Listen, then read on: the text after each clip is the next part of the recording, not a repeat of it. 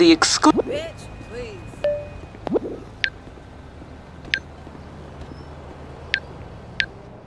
Oh, hi.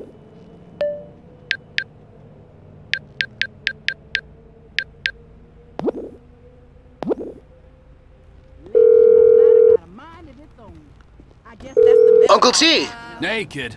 Tell me again about how much you hate your father. hate him? I, I don't hate him. We didn't. Well, we don't get along all the time, but I kind of sort of realizing I love him despite him being such an asshole. Mm, that's bullshit, kid. Have I taught you nothing? He is a heartless, selfish prick, and we both know it! T, you're scaring me. Look, please don't do anything, okay? Don't kill him, please. Please, please, please, please! Oh, you know, you are his kid after all.